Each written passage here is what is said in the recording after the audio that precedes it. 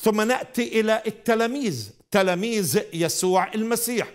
لاحظوا معي عدة أمور. وخلي في بالك إحنا في عاداتنا الشرقية متأثرين في الديانات الشرقية.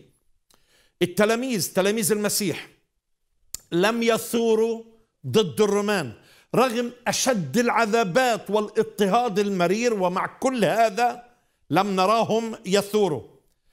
ثم نرى التلاميذ لم يقتلوا أحدهم الآخر. ما في تلميذ كان بيغتال تلميذ آخر.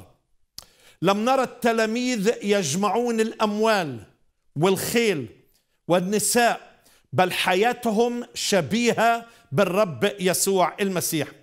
لم نرى أتباع يسوع المسيح يكفرون أحدهم الآخر. لم نرى برسالتهم أي إرغام لقبول المسيح. لم يستخدموا السيف ولم نرى انتقام للذين رفضوا المسيح. كانوا يؤمنون مملكة المسيح مملكة روحية.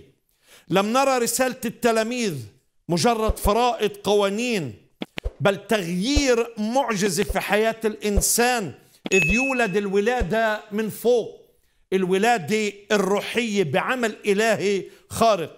إذ ينتقل الإنسان المؤمن من الظلمة إلى النور من الموت إلى الحياة الحياة الجديدة الحياة الأبدية.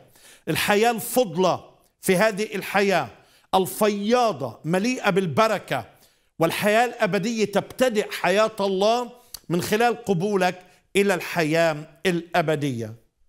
تعرف أحبائي بل بالعكس نرى شاول الطرسوسي يتحول من ارهابي ديني إلى رسول المحبة والنعمة للجميع وفعل الخير. تعرف أحبائي إلى اليوم لا نرى أي إنسان آمن بيسوع المسيح إلا وتغيرت حياته مليئة بالمحبة بالسلام بالراحة بقوة حضور الله. لا نرى الشتائم أو الحلفان أو الكذب أو ما شابه ذلك لا العنف ولا القتل ولا الشهوة.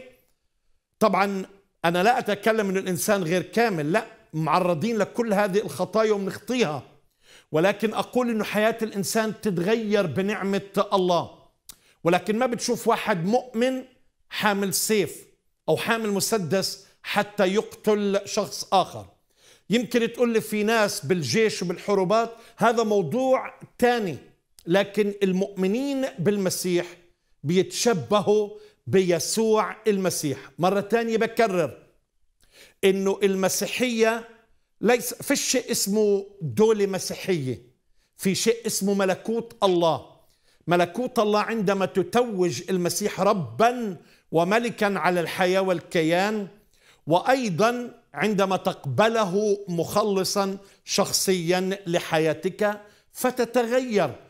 تصبح حياتك سلام محبة فرح مسامحة وقبول الآخرين وليس العنف.